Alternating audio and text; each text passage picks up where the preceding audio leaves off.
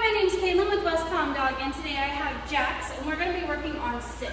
Now, sit is really important, and even though it is a very simple technique to teach a dog, it's one of the first that we teach, um, it is very important to kind of refine it, especially with dogs like labs, because they tend to pop up, they tend to run away as soon as you give them the reward.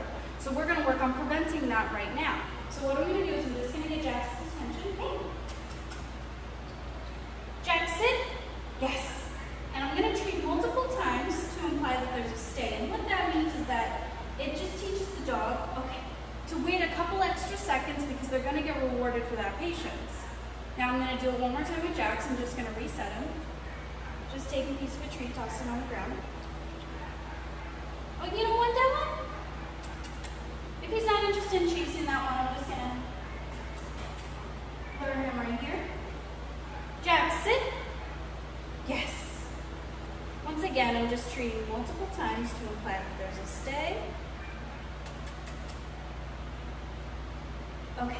And that tap on the head just means that we are releasing them from the behavior. It means that they can now get up and go what they need to do. So I'm going to do that one more time. Just got to get some out of my reservoir here. Jackson? Yes.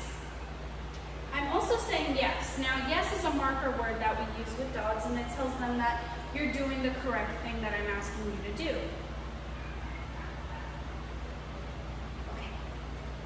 And that was really good from Jax. Now, if Jax had broken at any point of that, I would just lure him back into a sit and then start treating very rapidly um, along those lines. But I really like how Jax did today. And of course, he's doing very, very well. I really like how he's even still sitting here waiting for the next treat. That is a very good sign.